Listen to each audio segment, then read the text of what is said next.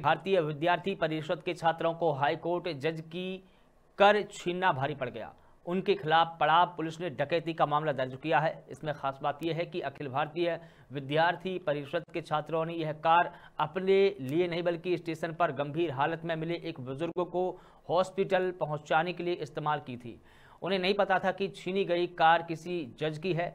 जज के ड्राइवर ने जब पुलिस को इस घटना के बारे में जानकारी दी तो पुलिस ने त्वरित कार्रवाई करते हुए न सिर्फ़ कार को हॉस्पिटल कैंपस से बरामद कर लिया, बल्कि ए एबीवीपी के दो छात्रों को भी किया है।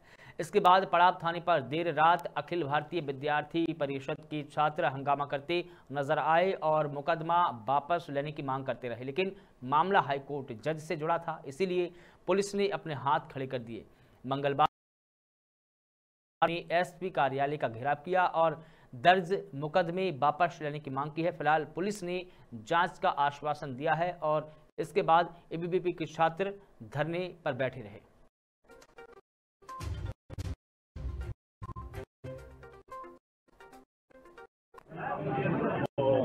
पांजी में हुआ था, थाना पड़ाव में। एक आवेदन पत्र डीआरपी से प्राप्त हुआ था कि हाईकोर्ट जज साहब की गाड़ी है, वो छीन के ले गए थे। उसको पंजीबद्ध किया गया है और उसमें जो साक्ष्य थे, उन पर से दो आरोपी पकड़े गए हैं, उन पर कार्रवाई कर रहे हैं। तो इनका अपना पक्ष रखा रख रहे हैं, उस पर बताएँ हाईकोर्ट जज स्कूल की गाड़ी। उद्देश्य था उद्देश्य था।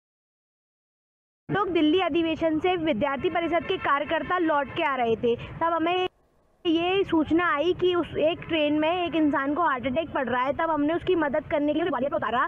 फिर हमने आरपीएफ एंबुलेंस सबको फ़ोन लगाया। तब उस हमारी मदद करने कोई नहीं आया। तब हमने एक गाड़ी से बोला कि हमारी आप मदद कर दीजिए। तब उन लोगों ने हमारी नहीं सुनी। तो हमने उस गाड़ी में उन, उन इंसान को बिठा के हम जेएच हॉस्पिटल ले गए। जब हमें पता चला कि वो गाड़ी मजिस्ट्रेट की थी हमारे पास